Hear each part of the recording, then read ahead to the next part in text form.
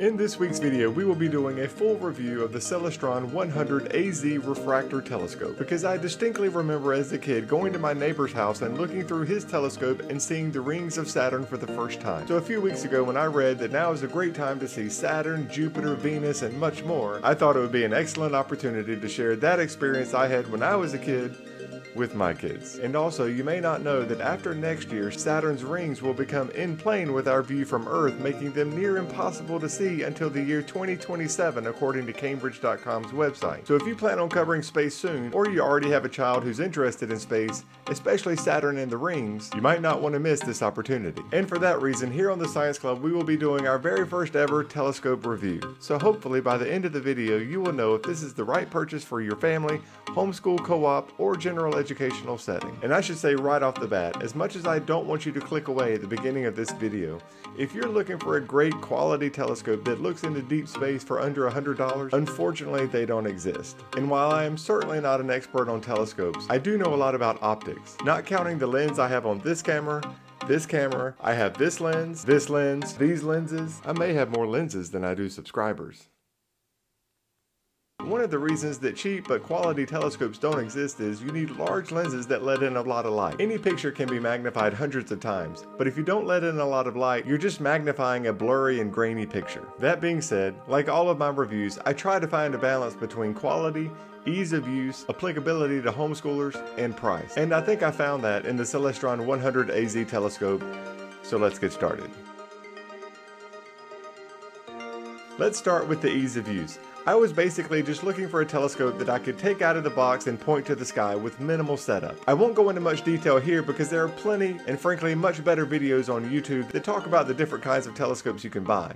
But generally speaking they come in two types a refractor telescope and a reflector telescope. Reflector telescopes usually are bigger, let in a lot more light, typically have great image quality, but they are heavier, more expensive, and need to be collimated. And since there are tons of YouTube tutorials that talk about how to collimate your telescope easily, it probably means it's not easy and as a homeschooling parent, you don't have time to do it. A refractor telescope is the traditional setup you're thinking when you think about a traditional telescope. No collimation required. And in the case of the Celestron Inspire, it turns out my hopes were true. In the box, for all intents and purposes, was just the telescope tube and the stand. And just with a few twists of some anchoring screws, this telescope was put together. From opening the box to completing the entire assembly was truly just a matter of a few minutes, and no tools were required. But don't just take my word for it. There were a lot of Amazon reviews that say the exact same thing. And if anybody can screw up an idiot-proof assembly, it's this guy. The telescope also comes with a finder scope that helps you easily locate objects in the sky, along with a red-hued flashlight that fits in the base of the tripod, designed to illuminate everything around you, but with the red hue not interrupting the night vision your eyes have become accustomed to during the dark evenings. It comes with what's called as an alt-azimuth tripod mount, which basically means you can track your object through the night sky with some simple tilt and panning. The front lens cover also doubles as a smartphone adapter so you can take videos and pictures with your smartphone, and I'm going to talk a little bit more about that later in the video video. So overall, from an ease of use and setup standpoint, it was great. Next up on the review is the quality of the product. And if I'm being honest, I certainly don't have other telescopes to compare the image quality to, but I have been very pleased with both the build quality of the Celestron telescope and the image optics. The accompanying tripod feels very sturdy as well. It is made of steel and feels quite strong. In fact, it is much sturdier than the tripod I had for my main camera, which isn't saying too much because I have a pretty crappy tripod. Tripods can be very expensive, so it's really nice to know that the one that comes with it feels sturdy. The telescope barrel feels nice and strong, has a metallic feel, and I've been on their website to see exactly it's made of and I can't find it, but it's definitely not plastic, so that's a bonus as well. But overall, and most importantly, I'm very pleased with the optic quality as well. It has fully coated glass lenses which provide a nearly 4 inch aperture. And again, the bigger the aperture, the more light that comes in. More light that comes in, the better the image. Like I was saying earlier, big lens, lots of light. Small lens, not as much light, nice image, crappy image. So it really makes a difference the size of the lens that comes on your telescope, and that's the main reason why. Now in just a few moments, I'm going to show you some video that we took with our camera and cell phones using various adapters. But just a real quick disclaimer. When shooting video or pictures this way, you don't have the additional magnification of the various eyepieces that you can use, and you can't hook a DSLR or mirrorless camera directly to the eyepiece to utilize the magnification. So for example, I'm looking at a tree about 150 meters away, and as you can see, as I scroll through the focus, the tree comes in and out of sharpness, which shows you the level of detail the telescope can provide. So now just imagine using the high power magnification eyepiece and it will be even greater. And to show you the difference, this is video taken from my cell phone as I hold it just up to the eyepiece, and you can clearly see the difference in magnification. Now the level of detail on the iPhone video isn't great at all, but you get the idea of the magnification level. Here you can actually see a small insect climbing up the side of the tree again from nearly 150 meters away. The point to all of this, the image that you see when looking through the eyepiece combines the clear and crispness that you saw on my main camera with the magnification that you saw on the cell phone. The problem is the final crisp and magnified image is really hard to be able to show you on this review here. So unfortunately, you kind of have to take my word for it. But it's pretty simple. The crispness of the DSLR combined with the magnification of the cell phone, and that's what you get. It's actually a really nice image that you see when you're using your naked eye looking into the eyepiece. And I have been over the moon happy with the images that we've been able to obtain with the telescope. I said over the moon because we're doing a review on telescopes looking out into space and you can, now you might be thinking why am I just showing daytime video and not video at night? Well, that's for two reasons. Filming at night is incredibly challenging. Without light, you can't see anything.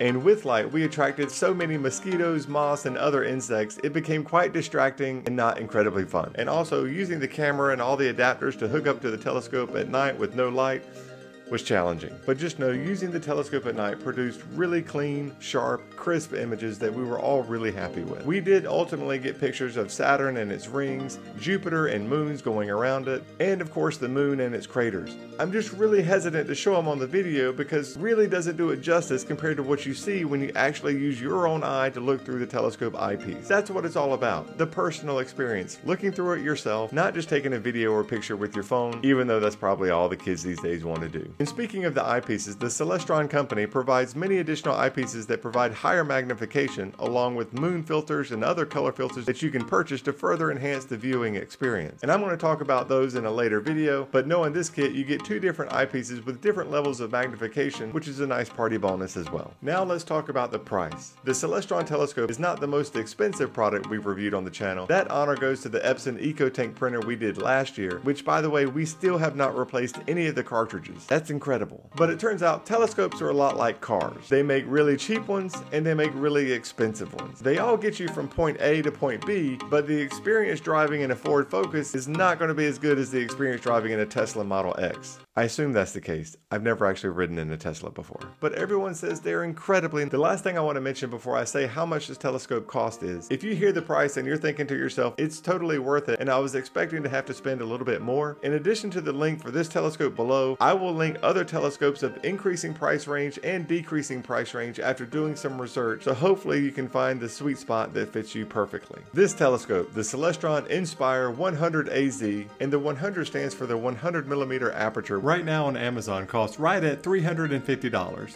So what I suspect that means for the average family that just wants to look into space one time and call it a day, this purchase is probably not justifiable. However, this is a great purchase if you have multiple kids that are all young and you know that earth science and astronomy and space education is definitely going to not be an insignificant part of your education. And obviously if you're part of a homeschooling group or co-op or know that you're going to use it over the next several years on a regular basis, in that setting is more justifiable as well. Our last topic is going to be applicability to homeschoolers. I know it goes without saying that studying astronomy, outer space, and planets is usually a large part of the homeschooling curriculum at various grade schooling levels, and there are many ways to do it. You can use online tools, websites, books, even field trips to your local planetarium. But a good telescope can clearly play an integral part of that education. Using a telescope for the education of astronomy is not as critical as having a calculator for math, but it's definitely going to enhance the educational experience. So why make this video now? As I said at the very beginning, there are quite a few planets that you can see not only with the telescope, but with your naked eye in the night sky right now. Currently, I'm filming this video in the beginning of May 2022, and to see these planets, you have to get up in the pre-dawn hours and see them as they come up over the horizon before the sun comes up. The good news is, every day they come up earlier and earlier in the morning, and come August and September of this year, you'll be able to see them in the night sky in the early evening.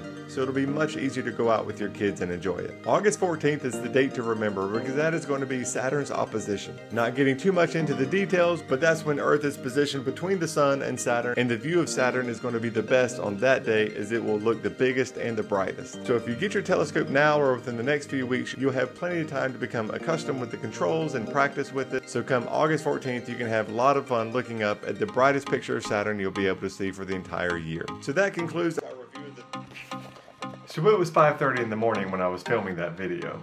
So now it's a few days later and I'm doing the edit of the video. I realized there's a couple of things that I forgot to mention in the video. So I'm going to talk about them now and then we'll go back to the normal ending. The first thing I forgot to say is this telescope is incredibly portable. As easy as it was to put together with no tools, it's just as easy to disassemble with no tools and store in a car and take it camping somewhere or anywhere you can enjoy the night sky.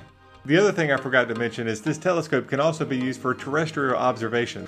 And I didn't think much of it, but as I was making the b-roll for this video, you can clearly hear that a couple of hawks were being aggravated by neighboring crows in our neighborhood. One of the hawks perched on top of the trees that I'm pointing to here, and I'm going to show you what the video looked like on the DSLR while it was attached to the telescope.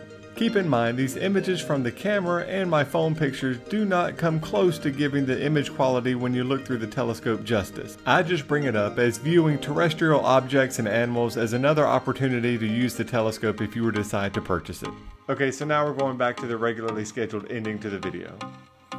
So that concludes our review of the Celestron 100 AZ telescope. I'll do one or two follow-up videos throughout the year as we purchase additional eyepieces and also talk about how you can attach a mirrorless camera to the telescope. Next week's video is going to be all about photosynthesis and how to actually see oxygen made from the leaves of plants. I'm excited to see how that one's going to turn out as I think you guys are really going to enjoy it. So until then, have a great day everybody and we'll see you next week.